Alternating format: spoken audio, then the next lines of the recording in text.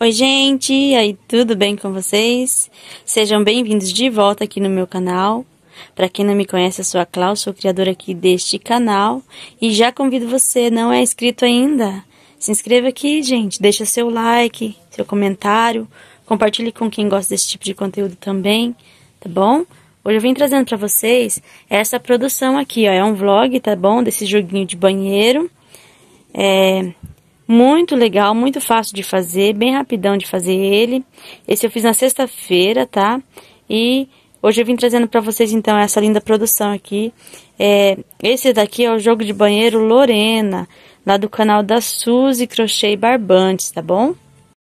Mas antes de eu dar continuidade aqui nesse vídeo, roda a vinheta.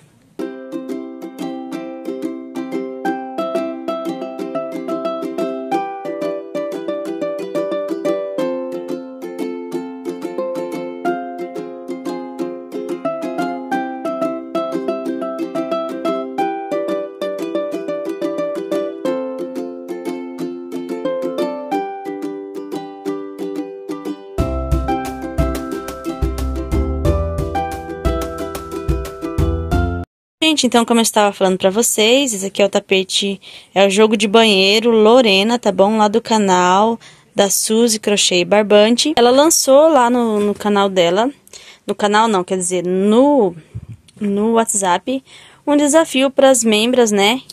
É, que é esse joguinho aqui. Esse é o joguinho de tapete é joguinho de banheiro Lorena, tá? Ela fez a videoaula lá do tapete Lorena e então lançou pra gente esse desafio. E eu vim trazendo aqui pra vocês então essa lindeza aqui. É, eu vou falar pra vocês então é, as medidas dele, tá? Do, joguinho com três peças. E depois a gente vai abrir pra gente ver como que ficou então nessas combinações de cores aqui. Então vamos ver, gente. Eu trouxe aqui a minha balança.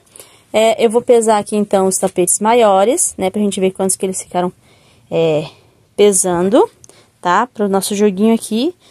É, acredito que seja assim um joguinho bem econômico, né? Ó, tem 294 gramas de um tapete, ó, tá? O segundo deu 639 gramas, dois tapetes. Só na motinha ali. Agora o joguinho completo, ó, gente. 904 gramas de material para fazer essa produção, tá bom? Então, gente, se vocês quiserem fazer, né, essa produção é bem rapidinho de fazer e bem fácil de fazer também, né? É, eu vou abrir ele aqui agora pra gente ver quanto que ficou medindo, então, essa, essas peças, tá? Acredito que ficou um tamanho bom aí, mas eu vou abrir aqui e vou medir junto com vocês pra gente ver como que ficou, então, as medidas dessas peças aqui.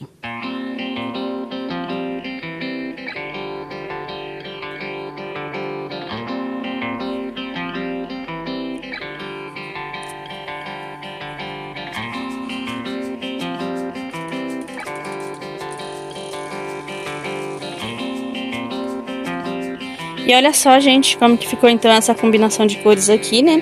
Eu vim trazendo aqui pra vocês nos vídeos anteriores, alguns vídeos aí.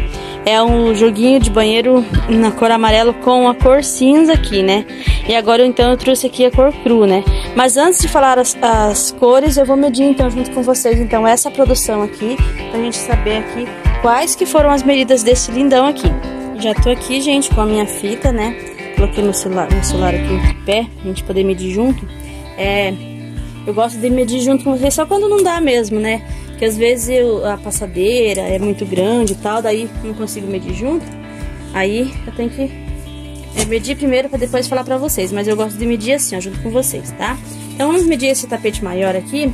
Ele ficou então de uma pontinha na outra, de um picô no outro, 73 centímetros, gente, de comprimento, tá bom? 73 esse tapetinho maior por é 50. Deixa eu ver aqui. Bem certinho, 54 de, de largura, tá bom? 73 por 54, então, esse tapete, gente. Olha só. É, é o tapete maior, o tapete da pia, né? O tapete do, do vaso, que é esse daqui, também está numa medida bem boa, né? É, pra fazer aí. Eu fiz daquele rosa, né? Uma cor rosa desse, desse modelinho aqui. Esse modelinho não. Nessas, não igual essas combinações de cores assim. E ficou bem bom o tamanho dele também, tá? Ó, isso aqui é 65 centímetros de comprimento, tá bom? Então, é, eles ficam no tamanho bem bacana, tá? Por 54, ó, 65 por 54. Aquele lá, 73 centímetros por 54. E a tampinha do vaso, gente, que é, acho que ela não fez a videoaula. Mas é, tem aqui, ó, eu fiz aqui adaptação, né? Elas medem as, as minhas tampinhas aqui, é, as capinhas, as tampinhas do vaso, elas medem na medida de 60 centímetros, tá bom? Sempre na, na medida de 60, 60 centímetros por 45. É, eu faço aqui as tampinhas do vaso. Às vezes elas ficam maiores, tá? Porque meu ponto é bem, ó, ele é um pouco ele é largo, né? Então, às vezes elas ficam um pouco maiores, tá? Então, é, eu gosto de fazer nessa medida de 60 centímetros, ó. Tá? Coloquei aqui, então, agora eu vou falar pra vocês as coisas que eu fiz. Eu utilizei aqui pra fazer, então, essa produção, é, o, a cor cru, né? Pra fazer a base, ó, tá? A cor cru aqui pra fazer a base. Essa cor aqui, acho que vocês já conhecem, né? O amarelo raio de sol pra fazer aqui a, é, o, o squarezinho, o quadradinho da vovó também o verde folha, tá bom? Aí vim com quatro carreiras na cor cru, três carreiras no amarelo bebê, e daí aqui é, mais uma carreira é, e mais uma fechada, e o bico na cor é amarelo canário, tá bom? Esse amarelo aqui é o da Cadore, tá? E esses aqui, que foi o rosa bebê que eu usei tudo, e esse é, aqui foi é o da, da Eurohome, tá bom? Então, é, usei também as pérolas é, amarela, né, e dourado, para colocar nas flores. Aqui também coloquei é, na, na telinha aqui, eu coloquei também o amarelo aqui, né, a, a pérolazinha amarela. E ficou então essa lindeza aqui, gente. É, já é o quarto jogo que eu tô usando com essa combinação de cores aqui com essa cor, quer dizer, no amarelo, né? Fiz amarelo com cinza, fiz amarelo agora com a cor cru e as duas cores super combinam. Olha como é que fica lindo, então, essa combinação de cores aqui, gente. Né? É, que vocês preferem? É o amarelo com o cinza ou o amarelo com o cru aqui, né? Qual que vocês preferem? Eu, particularmente, gosto de cores mais claras, assim, sabe? Mas, é...